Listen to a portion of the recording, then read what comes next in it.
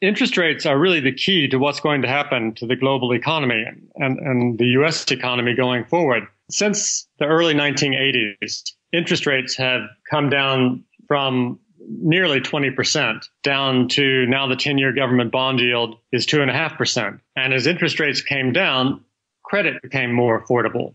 And so the Americans borrowed more. And as they borrowed more, they spent more.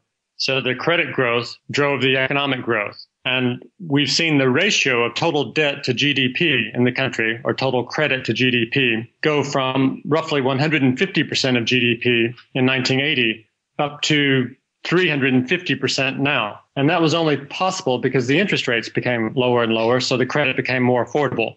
And as credit expanded, that credit growth drove the economic growth. But now, if interest rates begin to move higher, then credit's going to contract, and that's going to throw the U.S. back into severe recession.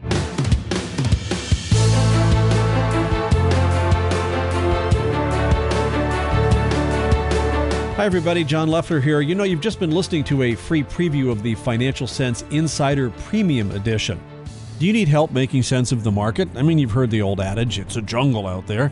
Well, you know, you can join our premium weekday service and you'll gain access to leading experts, analysts, and market technicians on what's driving the markets, the economy, and your future. You can get all of that by subscribing today at financialsense.com. That's Financial Sense, S E N S E, like you're trying to make sense of something, dot com. And click subscribe to join our premium weekday service. You won't regret it.